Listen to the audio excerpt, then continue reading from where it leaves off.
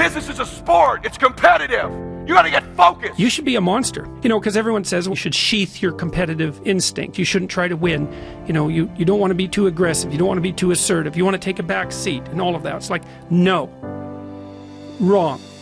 You should be a monster. What you're saying is like, I like bananas. And what you need is bananas are the best goddamn food on the planet. Like, that's the type of opinion you Say, need. wake up!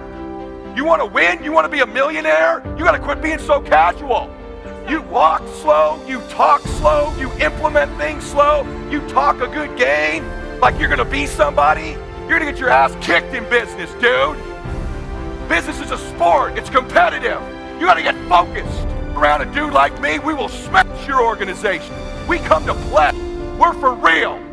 What are you? Cool? Players who implement strategies that get focused and intense, they win decades. They win multiple championships.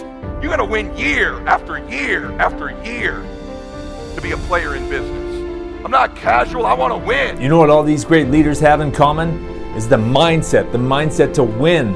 Like Ed Mylett said, you're too casual about your business. Okay, you were an athlete at one time, maybe you won championships, you won trophies, but now what?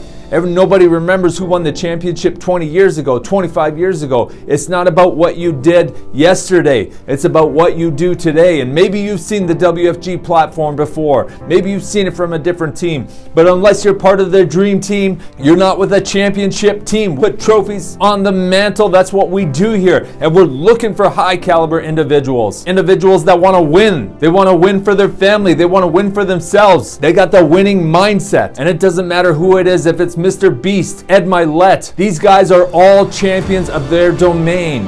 Ed Mylett built his empire with the WFG platform, and you can too. Embrace that monster inside. Too many people push down their competitive instinct.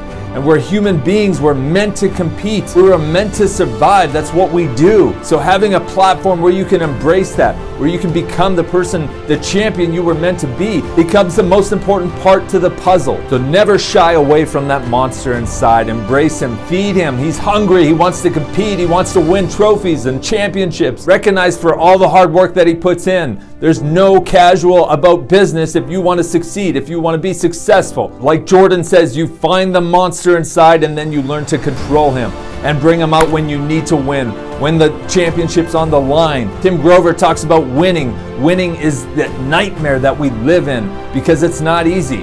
If it was easy, everyone would be doing it. Everyone would be winning. Everyone would be putting green jackets on. Only the select few that can embrace that monster inside are the ones that win or get to put on the jacket, get to put trophies on their wall. Having a team, having the mentorship around you for you to be successful in business after sport is the key to success. So find the right team, find the right platform, and embrace the monster inside you. Thanks for watching, everyone. If you liked the video, you got some value from it, number one, hit the subscribe button.